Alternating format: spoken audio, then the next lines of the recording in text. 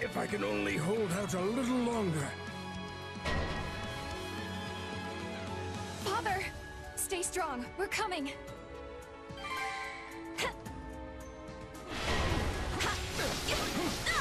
I'm glad you saved me. Now come on. Let's kick some enemy behind. You and me. Punch